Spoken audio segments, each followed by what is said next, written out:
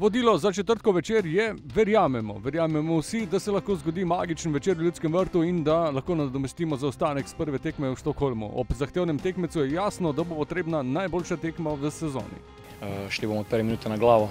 Jaz uh, verjamem, da lahko z dogovorjenim in z nekimi zametki igre, ki jo kažemo, če nam uspe, bom rekel, res top tekma, zadevo spraviti do te mere, da bi si, bom rekel, lahko naredili v, tem primeru neko senzacijo oziroma to pomeni napredovanje na naslednji krok. Nismo v dobri štartni poziciji, ampak z energijo v ljudskem vrtu, z pomočjo naših navijačev, mislim, da vse mogoče in uh, mi, mi res verjamemo v to, da nam lahko uspe. no. V ekipi ni težav, vsi igralci so pripravljeni, tudi Nino Žugel, letos najboljši strelec na evropskih tekmah, se vrača. Izhodišče je takšno, da ni kalkulacij, švedi pa tokrat ne bodo imeli prednosti umetne igralne površine, ki so jo na prvi tekmi izkoristili. V Evropi vedno eh, so gostovanja bistveno težja kot eh, domače tekme.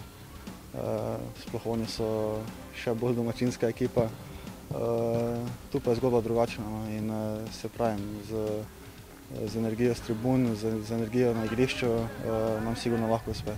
Trener medtem ne razmišlja o višini zmage, ampak predvsem o pravi podobi in o igri, ki jo želi videti na igrišču. Še enkrat mislim, da so, bom rekel, igralci z, z pred našimi navijači, bom rekel, v tem nastajanju ekipe, sigurno je to neka dodana vrednost in ena velika pomoč. In jaz verjamem, bom rekel, da bo igra stekla tako, kot smo si želeli. Uh, moramo na njihovo agresijo odgovoriti z našo agresijo, moramo popraviti, rekel, pozicije na terenu. In um, jaz se nadejam, da bo nekako tekma tekla v naši strategiji, bo pa mislim, da se skupaj zelo zanimivo.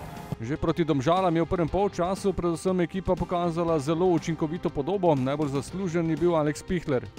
Ja, potrdili smo si, da, da se da dati tudi tri zadetke v enem polčasu, tako da uh, če smo jih dali v 45, zakaj jih ne bi zdaj v, v 90, tako da uh, res verjamemo v to, da, da nam bo rezultatsko uspelo. Ta naboj pred, pred evropskimi tekmami je, je vedno še večji, plus vedno naša podpora s tribun, ki v Evropi nikoli ne zostane.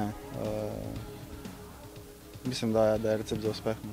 Goli bodo potrebni tudi na povratnem obračunu proti Hamarbiju, ljudski vrt, četrtek 2045.